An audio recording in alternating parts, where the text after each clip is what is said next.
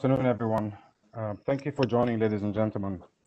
Uh, this is a HBKU seminar today, and uh, today we will hear about the Qatari experience with the COVID diagnostics uh, from a clinical virologist who has been there from the start in the middle of this whole pandemic. Our speaker is Dr. Peter Coyle. Um, just before I get into his introduction, I just um, want to give you a housekeeping note that if you have any questions, please put them in the Q&A um, section uh, to me and the panelists, and we will uh, go through the questions at the end of the seminars, and I'll read them out for Dr. Peter um, so we get answers. And another thing, please, everyone, mute your speakers if you have any speaker open uh, for the clarity of the presentation. Dr. Coyle joined HMC in March 2017 as a senior consultant and head of virology uh, within the Department of Laboratory Medicine and Pathology. He qualified in medicine and trained in microbiology and virology in Belfast and the Cancer uh, and the Center of Disease Control Atlanta, and completed doctoral thesis at Queen's University Belfast.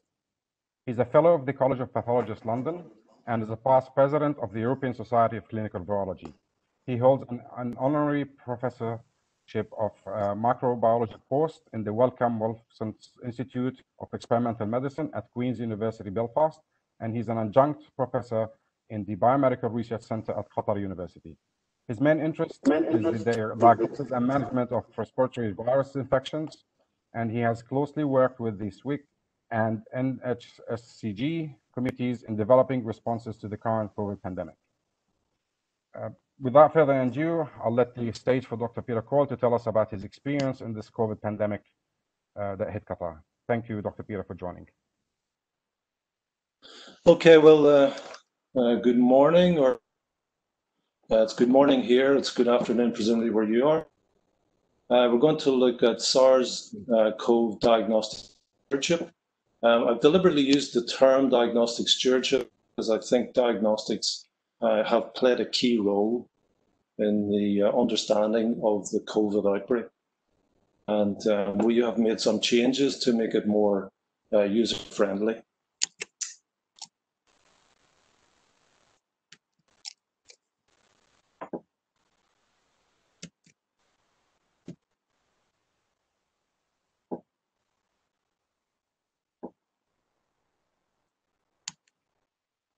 Uh, sorry for that. Um, so when the outbreak, um, when we started looking in March, uh, we had a staging of infection, basically categorical. Patients were either not infectious, not infected, or they were infected. And when we detected an infectious patient, um, we used to identify contacts. Uh, contacts would be put to isolation or quarantine and would be tested uh, to see whether they had picked up infection. We would have a cascade and rollout to try and pick up additional contacts where we thought this was necessary. Uh, if patients developed symptoms, then they were treated with a number of treatment modalities, and this was uh, progressed until the patient went negative. negative, and this was ideally two negatives 24 hours apart. Uh, our current staging is slightly more elaborate and I'll take you through this here. We either have an unaffected patient and a patient in the early stages of infection, uh, a patient who's presenting uh, with acute infection, uh, a patient who is recovering from infection, and then the patient who has completely recovered. So we tend to identify these five stages. The first three stages take a seven day period. Uh, th this is a highly infectious that replicates very quickly, gets to very high levels, and uh, then presents, although there are a lot of asymptomatic patients. So the patients are primarily infectious in the first seven days. Uh, after that, recover, hopefully. And this period usually four weeks before the patients uh, develop an antibody response. And most patients will develop an antibody following infection. As I said, it's a highly infectious. There are now over 20 million cases, 750,000 deaths. This has spread globally from its emergence in December 2019 and has basically gone worldwide. In the early stages, the clinical fever, cough, shortness of breath, and pneumonia. Um, some patients are the progressive respiratory failure due to alveolar damage. Uh, continuing fever was a poor hallmark with full lymphocyte counts and increased white cell counts. Um, patients had pulmonary infiltrates, did not respond to antibiotics, and in the initial stages in China, there was a history of contact with the seafood market. Patients presented with uh, severe pneumonia that progressed to ARDS and had a high mortality rate. We now a little bit more about the infection. Actually, most patients have asymptomatic infection, but can prevent, present with fever and cough in the first week. Uh, this will usually clear, but for those patients does not clear, the patients can develop respiratory symptoms. In the third week of the infection, um, patients can develop coagulopathy and throw off blood clots that can cause pulmonary emboli and various other manifestations. In the fourth week, patients can develop uh, a sepsis illness, can develop multi-organ failure, and can uh, succumb to the infection. So we know a lot more about the uh, chronology of the infection than we did at the beginning, and this allows more interventions to be uh, adopted. The virus is pre present at presentation, and one of the issues is it can continue shedding for a long period beyond the stage where the patient is infectious. Most cases were thought to be asymptomatic or mild, um, with severe cases in about 14% and critical cases in maybe 6%. We think now that this is probably an overestimation and that there are a lot more mild and asymptomatic uh, infections than we first thought. There is an agent uh, and also patients with comorbidities, diabetes, hypertension, cardiovascular disease, um, are likely to have a severe illness uh, with poor outcomes. So WHO recommended that we should be using RT-PCR, and this is still the case. Um, we developed a local developed uh, RT-PCR test based on the Berlin primers, and we did our first test on the 26th of January, and we validated this with our colleagues in the Erasmus uh, uh, laboratory in Rotterdam.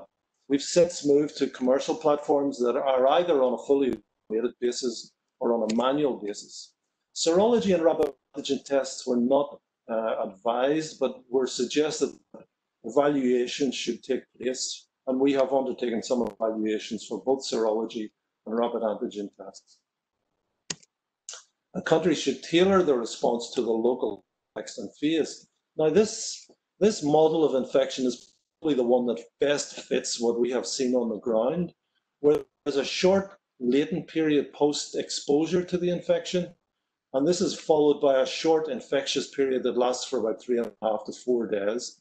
Patients may be asymptomatic for the first part of that infectious period, and then symptomatic for the second uh, part. But it's worth saying that actually most of these, uh, a lot of these cases are asymptomatic. After the infectious stage, uh, the patients hopefully will recover, uh, but viral shedding can continue for a long period of weeks and months, and this has caused a lot of confusion as to when patients cease to be infectious. The serial interval is quite short, it's within seven days.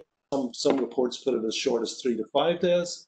Uh, patients transmit for one to two days before becoming symptomatic, if they do become symptomatic, but you get a long tail of RNA detection.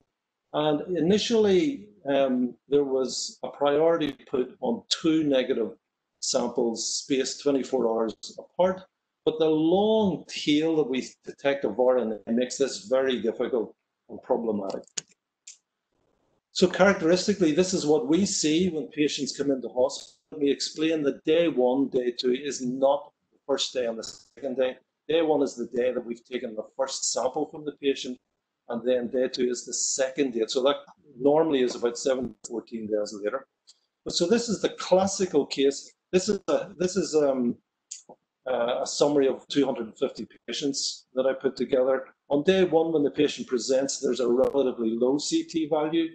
The median is 25, but over the next week or so, the CT rises. In other words, the viral load falls, and the patient probably enters into a non-infectious stage the most highly infectious stage is at CTs below 20. I tend to see uh, samples below 20 and probably about 40% of the patients that we see on day one. And you're more likely to see these in clinical infections rather than patients who are being sampled for surveillance purposes. The samples that we take to diagnose infection it was originally and is mostly still a combined nasopharyngeal swab and oropharyngeal swab put into the same vial of transport medium. However, CDC has updated their, their recommendations and suggests that as well as that, we can also go for a single nasopharyngeal swab or a mid-turbinate swab, or even an anterior nares swab or an oropharyngeal swab. And there are publications suggesting that either healthcare worker assisted or self-collected are sufficient for uh, acquiring a reasonable sample. And it's worth saying that when you're trying to diagnose this in, a, in an acute patient, there is a very high viral load. So getting an appropriate sample is not that difficult. Um, just to explain our molecular assay, you know, we amplify the target or the gene or target genes over 40 cycles of amplification. And in RT-PCR, we define a cycle threshold is the cycle of amplification where the where the signal becomes positive. So in other words, if the signal becomes positive at cycle 13, we refer to this as cycle as CT or cycle threshold 13. If there is a lot of virus, the cycle thresholds will be lower. And for less virus, the cycle thresholds will be higher. And normally you get this nice sigmoid curve in keeping with an acute, uh, an acute positive detection. However, you also get quite weak values and weak curves at higher CT values. And for these, it's more problematic. These could represent recovering from an infection, or this could represent somebody just an acute infection, or it also could be a false positive. There's been a cross contamination uh, during the processing of the sample. And uh, so these weak positives can be difficult unless you're following a patient through and you multiple samples from the same patient. Additionally, commercial companies who develop these assays will also refer at this point to results that they refer to as inconclusive. And usually this means that they have a signal, but it doesn't quite match the signal that they would regard as being in keeping with a positive result. We have also introduced, as I mentioned, another clarification where we call samples with a CT above 30, we no longer call these positive, we call them reactive because we're trying to differentiate these um, for, for clinical interpretation purposes. So this is the, um, the changes that we have made to our reporting algorithm have gone from a positive, negative, and conclusive triad to one that includes a reactive uh, result as well. And I'll discuss how and why we've come to this conclusion. So if we see again, we would see, um, we would result, we would report, as well as saying positive, negative, or whatever, we all report the CT value, and we, for, we report categories of positive, negative, inconclusive, reactive. And uh, this allows us to be more um, specific in dealing with the, the result getting. And also this hopefully should allow a better interpretation at clinical level. Um, as we can see, uh, when we look at, at, samples collected during surveys, the patients who are symptomatic tend to have lower CT value than patients who are asymptomatic. And again, if you look at patients who have got a CT value below CT25, symptomatic patients are five times more likely to have a CT below 25 than patients who are asymptomatic. The question we were asking ourselves is, can we use additional measures to categorize whether the patient is infectious or not? And I would say that every single unit needs to do this based on their own data. This is not something that's cross-applicable to another unit without independent validation. If we look at the um, CDC, they published um, in June some data that would suggest that of a CT above CT33 is rarely possible to isolate virus from this type of sample, which would suggest that maybe that type of sample is coming from a patient who's infectious. They were also able to show that by and large, not isolate virus beyond eight days. So two measures here that we might be able to use. CT value, a measure of viral load, and the days post-presentation, either from a PCR positive or for symptomatic presentation. And likewise, from Burn Hospital has, has shown that they were not able to isolate virus beyond day eight and not able to isolate virus from lower, lower viral loads and come up with uh, a recommendation that patients be considered for discharge after 10 days after the presentation or less than 10 to the 5 copies uh, per mil in sputum. Study from Canada was showing that they isolated virus uh, above CT20 or above 8 days. So you can see even from these studies that the there seems to be a cutoff around day 8 9 where it's by and large difficult or impossible to isolate virus.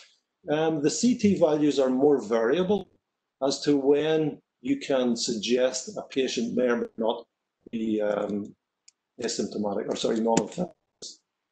Uh, the French group from Marseille um, showed that above CT33, they were no longer able to isolate the virus, and again suggested patients may no longer be infectious at this stage.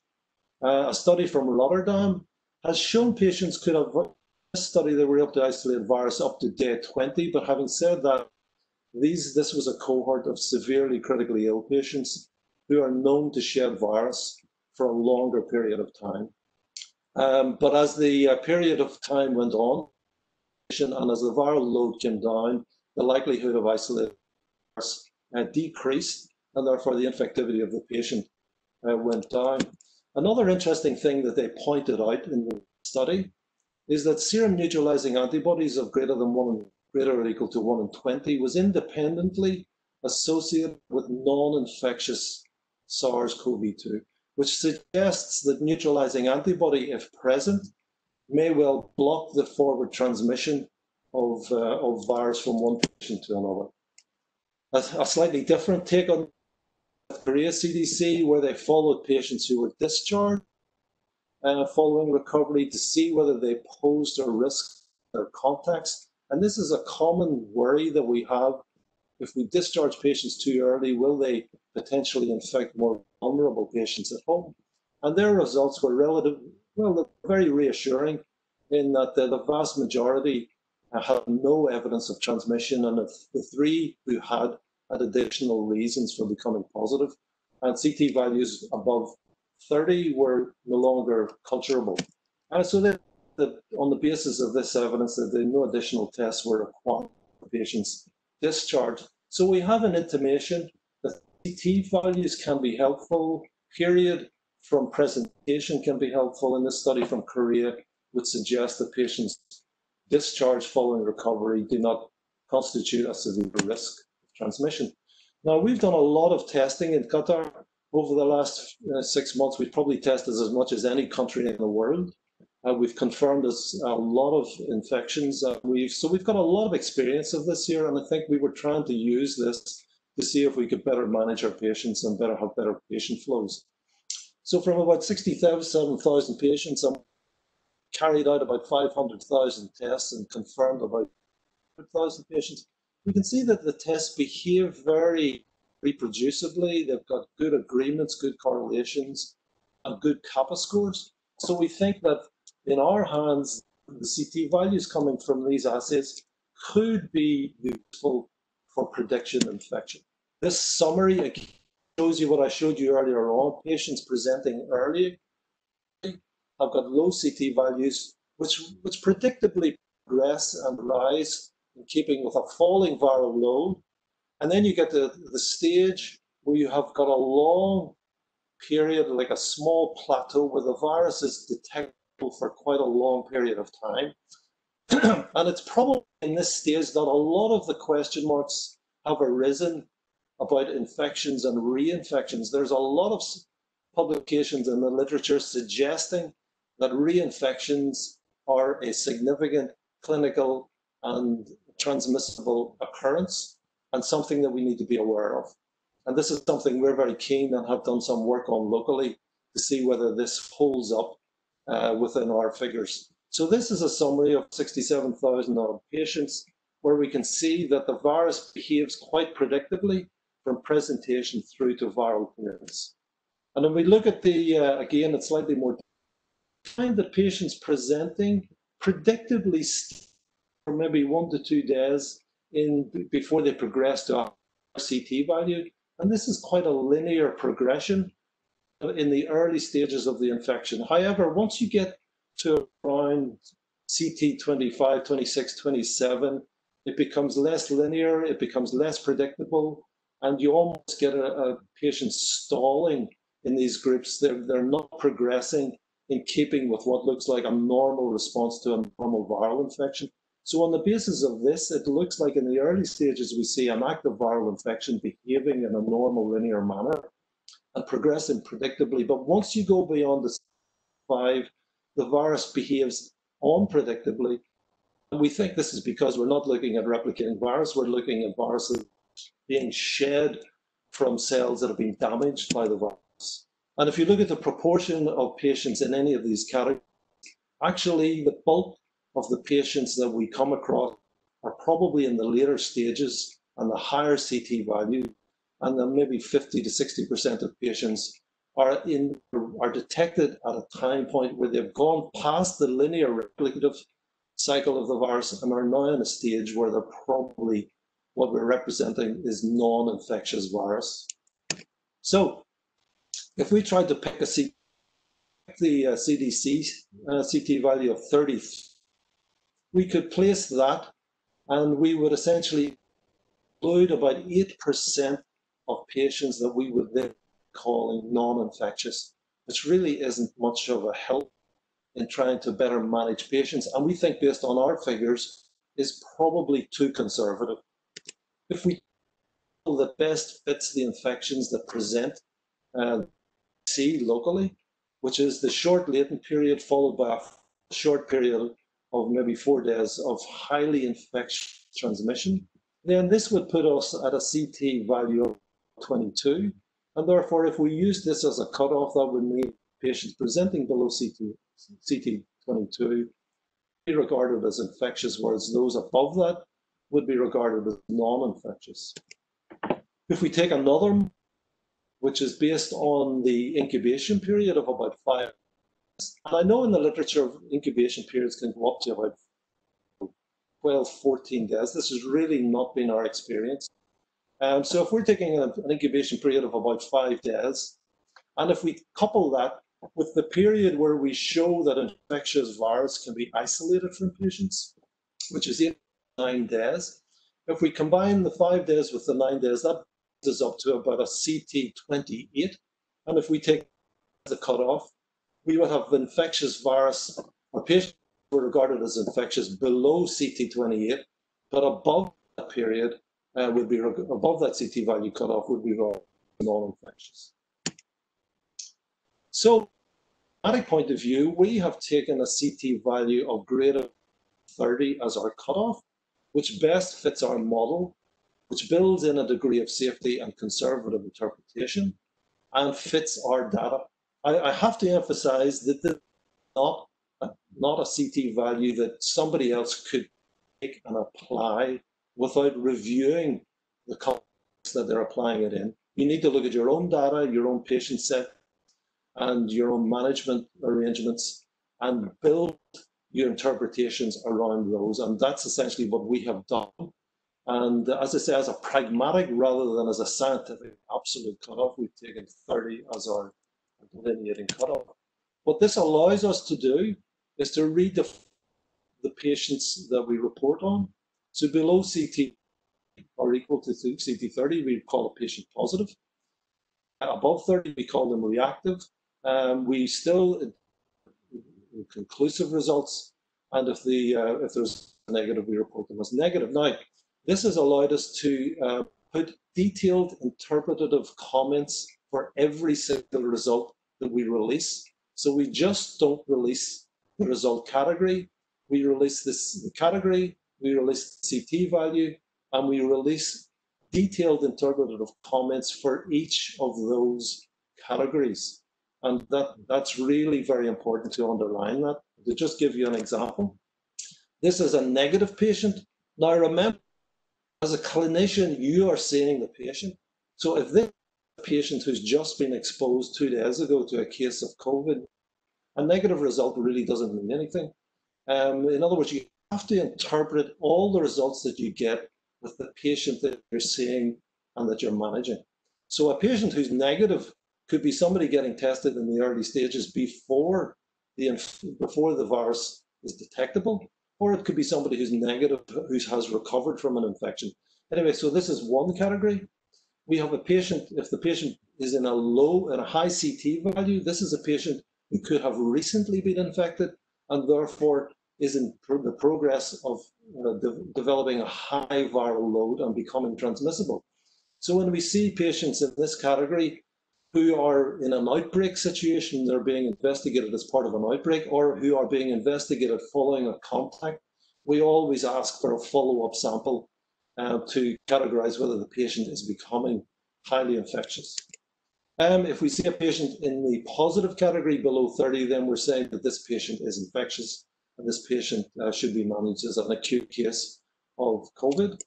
Uh, if we see a patient who's following on from an acute phase, who's now clearing the virus, we say now that this patient has got to the point where they're greater than CT30 and could be considered non-infectious for management purposes.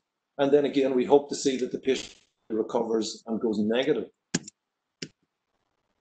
How has this helped us? It has helped us to make more of periods of infectiousness. It has allowed discharge from quarantine. It has facilitated movement of between COVID and non-COVID hospitals. It has freed up hospital quarantine resources.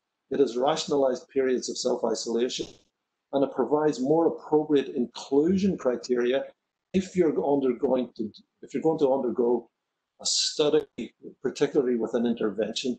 I think it would be critical that you have good criteria for enrollment of patients. So that takes us to the antibody responses and what they uh, what they can tell us. Now, we know patients who get a COVID infection develop antibodies probably by week three and almost everyone by week four. And at this point, just to say that what is the likelihood of reinfections taking place? Now, for me, I've been working on this being a definition of a reinfection. Patient comes into hospital with a low CT value, goes through a period of recovery and is discharged, and then is readmitted with a similar clinical episode with a low CT value and goes through a similar period of recovery. Now, currently, I can't find any local evidence that fits this pattern. I know it's quite uh, a stern criteria, but I think it's critical that we are definitive about being able to confirm reinfections as real events and real clinical events with transmission potential.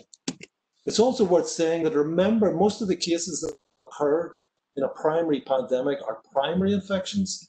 The primary infections, by their nature, are weak, slow, and rise gradually and take maybe two to three, as we see, or maybe four weeks to, to, to uh, peak secondary infections, secondary antibody responses, either if you were vaccinated or if you were being infected for the second time, these antibody concentrations rise quickly, the response is more intense, and the antibodies last longer. So we would expect for most of the primary infections that we will, we will see is a low antibody response that will wane depending on how, how high the antibody level was in the first place. And this is critical because people keep saying these antibodies are waning. This shows that the patients are becoming infected or susceptible. This is exactly what you would expect.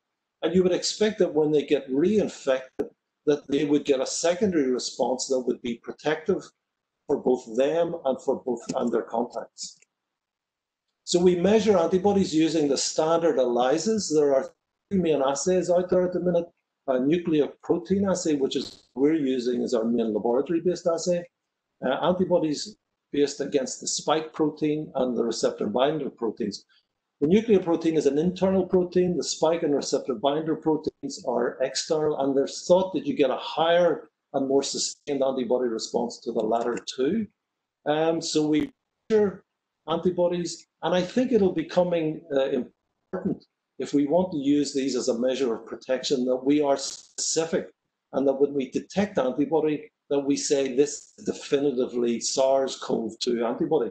And it might be that we need to do an additional test, for example, an additional ELISA or a blot assay or a neutralization assay, or use some sort of quantitative response to define the specificity of the result. We have done a little bit of um, OD, but we respond, we report um, our results in optical density units. And we can see in this small study of 120 odd cases that we get good agreement between two assays, one measuring the nuclear protein, one measuring, you know, these are actually two nuclear protein assays, that it's a good agreement up to about a C, an optical density of five, and below that we start to get disagreement. So we're trying to use this as where we can definitively put a threshold where we where we can be happy that the specificity is there.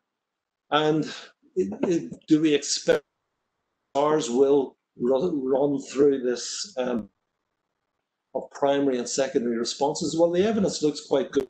There's a rhesus macaque study uh, from China looked at the response in primary challenge and re-challenge. And if you can see the highlight circle of neutralizing antibodies, you can see 14 days after the primary check-in, a relatively low level of antibody was detected, was 14 days after the re-challenge, there was a, a, rapid response, and this was reflected both in cellular and humoral responses.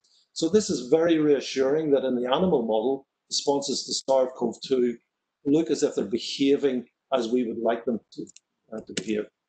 Also, if you look at the uh, action in the same model, in the primary challenge, we'll viral distribution throughout the animal and the the upper respiratory tract, which is highlighted there in the red circle. Animal is re-challenged. We see that the uh, immune system controls the virus. Until putting these two things together, we get a cellular and humoral response at re-challenge, and we get the virus being controlled. So this is very reassuring that we would expect in a re-exposure and reinfection, the patient would not get clinically unwell and would not reach a level of viral virus load that is transmissible.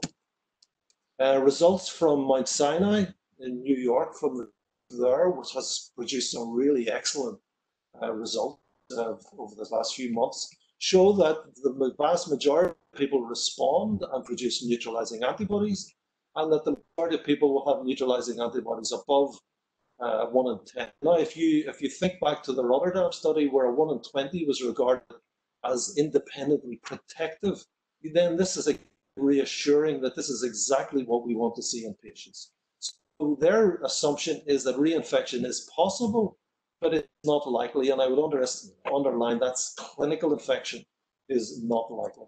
Clinical reinfection. The responses in our cohorts look very similar. Patient we, who had an acute infection in, in May, the end of May, and developed a seroconversion and a nice uh, response climbing into what we would hopefully regard as protective. And it's worth saying that the higher the antibody levels, the higher correlation with neutralizing antibodies is seen. We've seen with the, we've done a seroprevalence study through an IRB project, and uh, this has been very uh, informative. This is the first analysis we've done of, you know, three, four weeks ago. The overall seropositivity was uh, 26%. Um, we were seeing a very similar picture that we saw in patients who were detected by PCR, and we see mostly the outbreaks that the outbreak that we've seen in Qatar has been mostly in manual and craft workers, which are mostly young male workers, and the seropositivity in the age band reflects that. Also, the seropositivity by nationality reflects that as well. It's very similar to the results that we get by PCR. The local Qatari population and expats, however, have not really been overly exposed in this situation and have got relatively low seroprevalence levels. The age range, again, is reflective of, the, um, of this outbreak, and that we see a, a wider age range in the Qatari group, um, which involves children and more elderly patients, whereas the, uh, the manual craft workers tend to have a, a lower median and a narrower age range uh, detected. They're very um, informative as well and very encouraging the, the, further, the further we get from a confirmed case, confirmed by PCR, the higher the antibody levels. So when we get out to maybe, you know, 40, 50 days, we've got nearly over a 90, 95% seropositivity. And actually, this is a higher level than you would expect if you were measuring somebody following a primary infection. And what it suggests is that probably a lot of these patients are being re-exposed to the virus and maybe being reinfected subclinically and having a boost to their antibodies. The other reassuring thing for these high antibody levels is we're using a nuclear protein assay, which theoretically gives you lower levels and levels that will wane more quickly. And this study from uh, London, from Julie Brewer's group, shows you that the nuclear protein assays, antibodies in green, have a, a lower um, half-life and wane more quickly than those uh, measuring the spike or receptor binding proteins. So again, this is very reassuring because we're using the assay for nucleoprotein one and we're getting very good antibody results. So we have seen a lot of infection and confirmed a lot of infection here. It's over 100 and 110,000 now. Uh, if we extrapolate the seroprevalence study, uh, it probably suggests that we've infected maybe over 700,000 and maybe we've infected a large proportion of the population um, that are currently res resident in, in Qatar. And, this, and we've looked at a group of these to see, do we have any evidence to suggest that we're getting reinfections as I previously defined? Well, so looking at patients um, defining reinfection as somebody who's presenting and representing the CT below 21 with a three-week gap, um, are we seeing any patients who fit into this category? And the answer is, I, in this, this review of over 60,000 patients, I could only find 10 who fit into that category. And these patients were either severe prolonged infections in, in patients who were having a severe illness, or they were patients who were immunocompromised, or in one case, it was a laboratory error. So from our, from my perspective, I can't really see much evidence that reinfection are a significant occurrence, apart from probably asymptomatic re-exposure, which are actually a beneficial things to boost the immune system. So should we be looking at immune responses more, uh, to use them more in this outbreak? Now, if we look at this small group that we were following through, um, we had two confirmed patients in a cohort um, who were confirmed. And when we followed those patients up uh, two weeks later, uh, we saw the two patients had seroconverted, whereas the, uh, the other patients remained non-infectious. Now we can measure antibodies by looking by using a laboratory-based uh, protocol, a laboratory-based ELISA, or you can measure antibodies using capillary blood, taking a sample from a finger prick and doing it on one of these rapid lateral flow devices.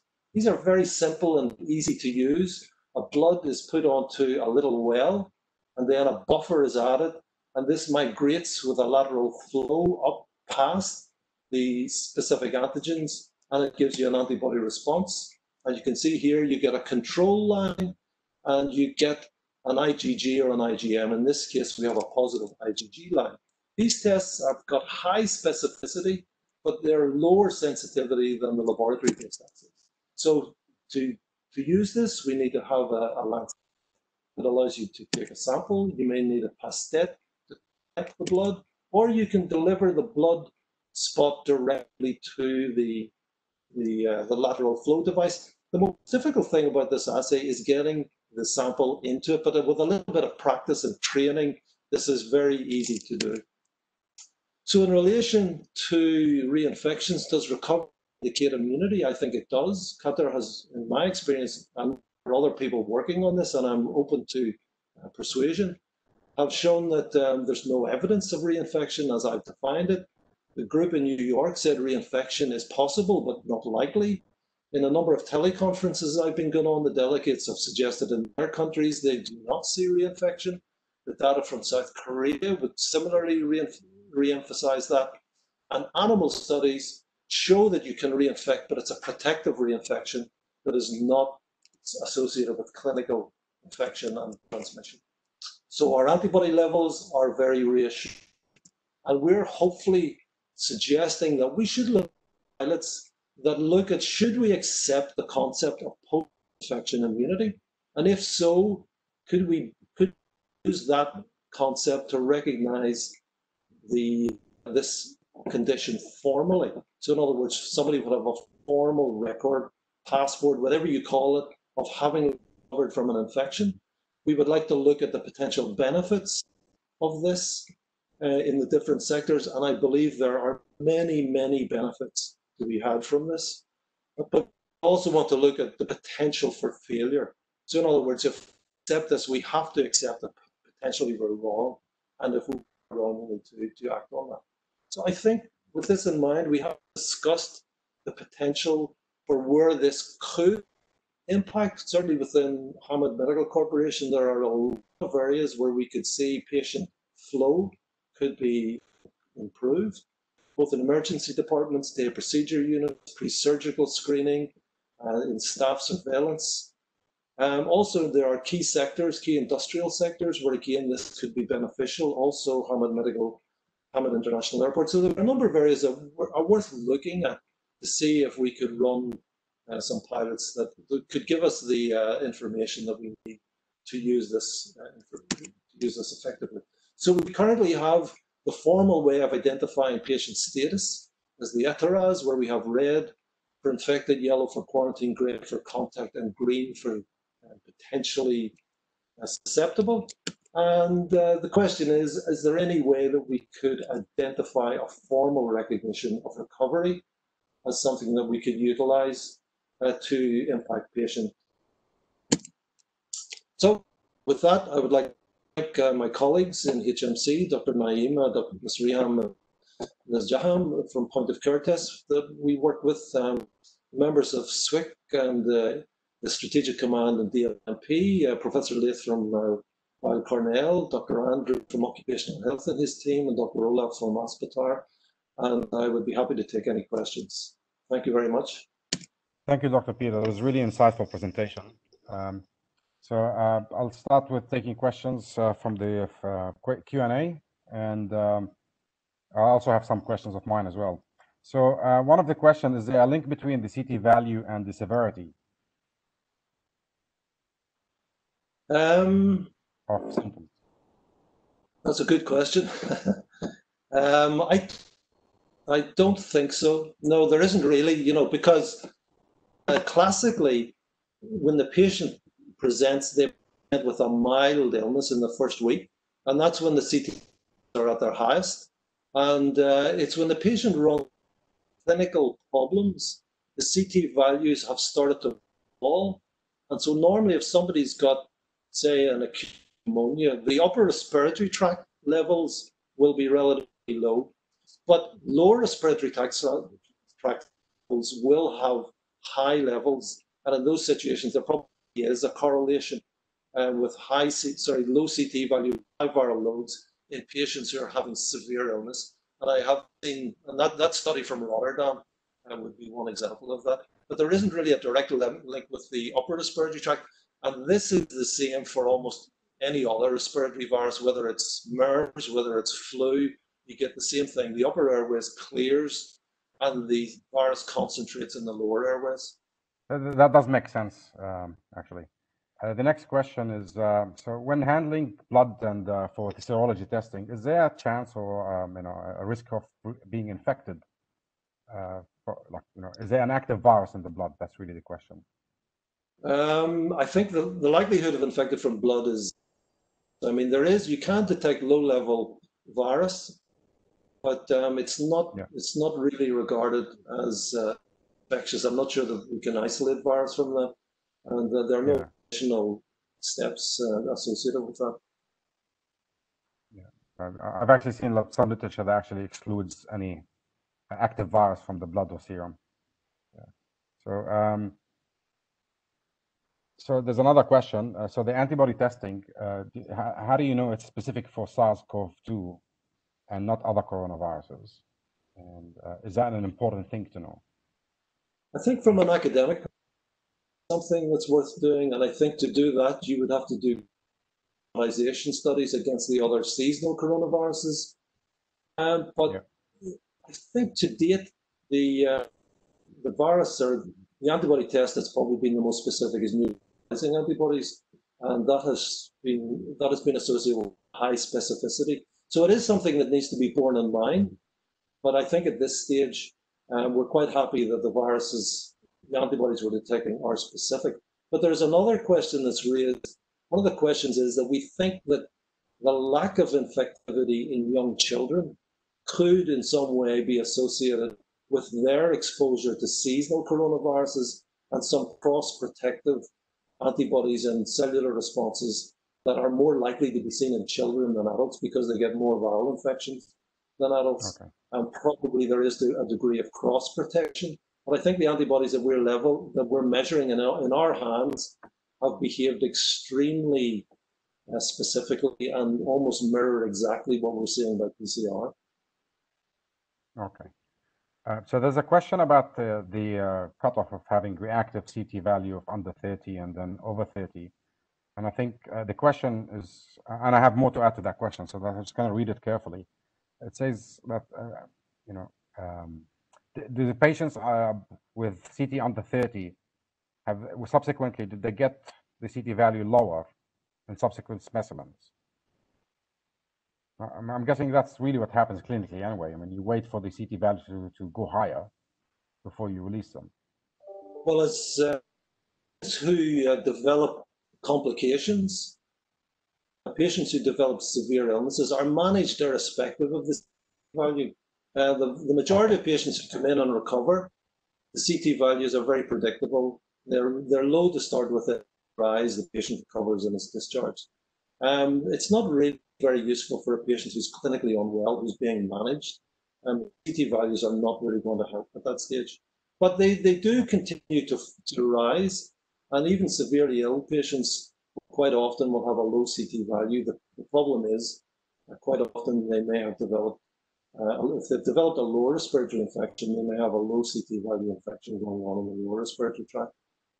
Okay, so I'm adding a question to this particular question. So with the CT value uh, above 30 labeled as uh, you know, reactive but safe in terms of quarantine, which shortens the quarantine time. And clearly that would have an economical impact and lifestyle impact, of course. I understand the rationale behind it. But from, uh, have you had any observations that go against that model, where you had someone who's released with a CT value above 30 and they infected a contact, someone at, in, at home or someone they've been in contact with? Uh, not personally. Um, the study from Korea designed to look at that. And uh, that was very reassuring from point of view because at that stage, again, infection and reinfection was uh, was was more widely accepted, and doing a follow up to address that question. Where was it a risk to home? And their outcome was it wasn't. Um, from our point of view, from my point of view, um, I haven't seen CT values in with reinfection, but I know there are another couple of groups working this and are looking at a, a, smaller number of maybe 10, 20 patients, I would really, really keen uh, to see those. And actually, on that point, uh, look, mentioning South Korea. So there's a question about the local cultures and how, uh, you know, maybe different cultures, the city values and the way they interact and they behave, you know, in terms of contact tracing, uh, in terms of uh, contacting each other. So someone who could have a, you know, sort of um, intermediate city value could infect more people because they communicating with more people. I think that's the question um, you know. Uh, I mean, the um, I'm not quite sure I, I catch that patients in the early stages, whether they're symptomatic or asymptomatic, will be um, capable of trans to contacts. And um, I think the likelihood of, so the vast majority of cases transmissions take place or the model that we follow is a, a relatively short, highly infectious period. Now, there is a fear of risk of almost any CT value patient being able to transmit, but this is not supported by the evidence. and uh, would be more anecdotal than real. And our evidence looking at our patients was a very, very high uh, patient number, which suggests it's quite predictable how the virus goes through this short period of infectivity and then relatively rapidly declines where it's no longer infectious. Okay. Um, so there's another question. Sorry, that question was not clear. Even the reading of it, I didn't really get the exact question. So uh, there's a question also. I have someone said I have heard of some concavalent plasma exacerbates clinical symptom exacerbates clinical symptoms. Are they cases of damaging host immunity? So plasma transfers to. I think transfers have been used and are being used. Have been used locally and elsewhere. Um, I haven't heard of them exhausting anything. I think what they have been shown is to have a moderate benefit um, where they have been used in patients who've had a COVID infection. So I don't think they're going to be a, a game change. But in the early stages, in particular, we had nothing else. Um, I think there was a moderate benefit. The real, I mean, Qatar has had a very low mortality rate. And I should emphasize that one of the things here is that we have done a lot of testing. We've tested over 500,000 samples and one of the advantages of doing that, we were able to identify patients in the early stages. In other words, we would have picked up most symptomatic patients that we, we didn't get, obviously the asymptomatic patients we would have missed, but we were picking up symptomatic patients. Symptomatic patients were put into isolation. We developed a whole whole hospital infrastructure around those and an ambulance service that was able to get patients who needed into hospital to get them in rapidly, to get them onto oxygen rapidly. So I think the fact that we tested so many, identified so many, put them in a position where they were rapidly accessing good healthcare facilities has played a major role in keeping the mortality rate low here. And I think countries that have tested less and haven't had the backup facilities as readily available have had higher mortality rates. And I think that's something Qatar has really led the world on. Okay. Uh, that's good to know. And um, I'm, I'm, guessing also the hospital care was quite uh, good with the treatments as well, uh, even for the people who have had uh, complications. Uh, this is the last question, and I have one more question for myself at the end. Uh, the question is particularly, someone is particularly interested in how many of the reactive over CT of 30 results turn out to be patients who are early infection with lower CT on requested on follow-up samples versus recovered patients who still have detectable RNA but are probably not infectious? Um, the majority, I mean, the way we've looked at this, the majority of patients have uh, low CT values who are asymptomatic and who are being done, for example, as part of a surveillance program. Um, we essentially accept them as patients who've, who've had recovered infection. Where we see a high CT value fall, and we do see this, is we see it when we're looking at somebody who's had a contact a specific contact with a known case, or if we're examining uh, an outbreak situation. And to be honest, in an outbreak situation, you can almost predict when the patient is going to develop the virus if they haven't already got it, or if they've got a high CT value, when they're going to develop a low CT value. So we do see this in the context of a contact or in the context of an outbreak, and we specifically have interpretive comments that advise people they need to retest in that situation and take appropriate infection control measures. Yeah.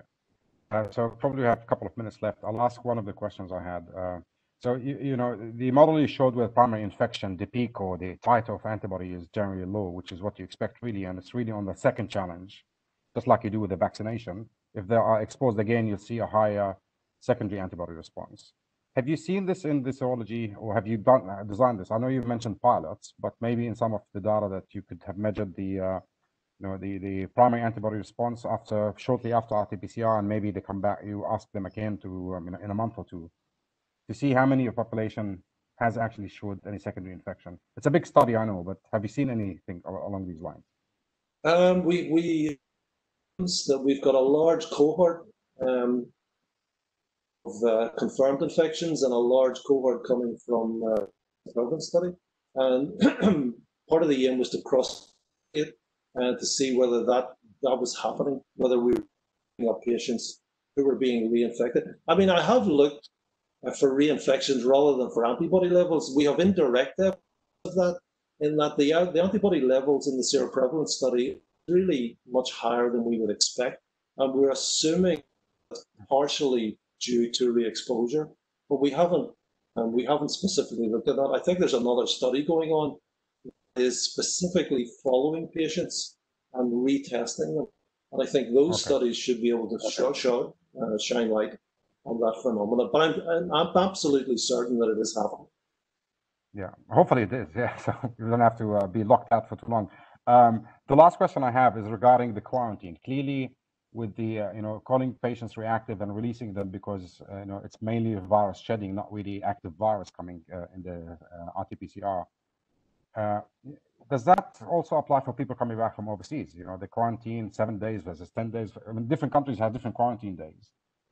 Uh, the model seen in Qatar maybe you know might not apply to people who are coming from overseas with an infection with the quarantine time. Do you see a problem with this, or is uh, is this uh, just become just a common knowledge now that there is no infection after you know 10 days of quarantine or seven days of quarantine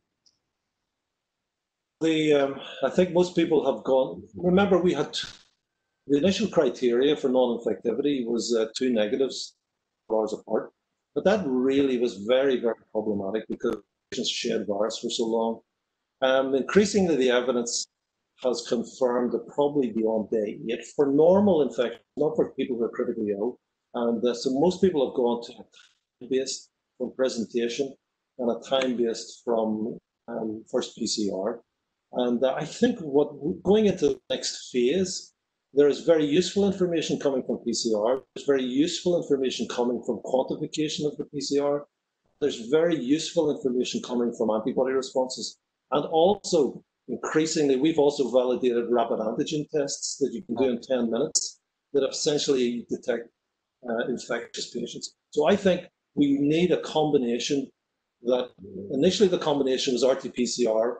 I think the combinations that we need now are PCR antigens and antibody. And so I think if somebody came through who was antibody positive, I think the idea of putting them into quarantine is very questionable. I don't think it makes any sense. And uh, but if they if they're antibody negative, the next question that you want to ask is, are they infectious now? Which an antigen test could do. So I think there's a whole mixture of things. And coming the coming into the winter, with the schools reopening, and with with society going back to normal, you know, there are challenges that we need to use every trick that we have. And I think we have three tricks now. One is PCR, one is antigens, and one is antibody. Yeah and it'll be much trickier with uh, common flus coming back, right? So it's we're hitting winter, so people will show symptoms, and uh, you know suddenly everyone's scared it's corona. It might not be. Well, my and, uh, experience uh, yeah, of winters is that if you get viruses one on top of the other at the same time, your hospital up. And remember, this year we're going to have two viruses. We're going to have two flu B viruses. We're going to have two RSV viruses, and we're going to have COVID. That's seven epidemic viruses potentially um, in fact, they will be spreading, but there's no there's no way that. The question is if they spread one on top of the other. So, so this winter, I think we really need to have we need to be. It's going to be different from the first six months of this year. And virus, for whatever reason, do transmit. I know it's hard to believe Qatar has a winter, you know, but the viruses behave as if there is a winter. And you yeah. do get epidemics exactly the same way as every other country. Yeah. And uh, I think we need to be really on our toes this yeah. over the next six months. Yeah, it seems that it's a virus holiday. They cannot miss it. They must travel. Uh, so there's one last question uh, about the virus and the, the CT values. That the swab samples are transferred to the labs with the virus transfer media, and the question is, you know, how does this affect interpreting the CT value versus the virus being, in, you know, infectious, uh, or the sample has infectious virus or not? Uh, and i.e., the, the virus transfer media could inactivate the virus, and that's why you're not seeing anything in the culture, in the live cell culture. Um, if you're um, if you're trying to culture the virus, to use uh, a viral transport medium, and there is a dilutional factor there, but the transport medium is designed trying to isolate the virus. It's designed to protect the virus. It's got antibiotics, it's got buffers, it's got uh, you know, so, so, it's there to allow the virus to survive. Obviously, you need to take precautions. You need to have a sample taken and put on ice, and you can't just leave it around, you know, for three days and then hope you're going to get something out. So the, the most difficult thing, And I would say for most of the studies that probably they're not being done optimally. Optimally, you would take a sample from a patient and you would have it in the viral culture within within an hour or two. That would be the ideal. Most of these are taken probably from samples that have been come in, they've been put into a, a minus 80 freezer, they've been thawed. So there is a wee bit of viral loss, definitely, I would imagine. But most of the studies from different countries are all coming down around the same eight to nine days as a cutoff. Okay. Yeah. Okay, so I don't think we have any more questions, and I don't have any more questions either. Uh, thank you, Dr. Peter, for the time. It's a really informative presentation and uh, a lot of food for thought, actually. And um, hopefully the new studies done at HMC will enable to answer the question about reinfection definitively with immunity as well. I'm looking forward for the uh, vaccine. Thank you very much. Okay, thank, thank you very all much. for attending. Okay, cheers. Thank you. Bye-bye.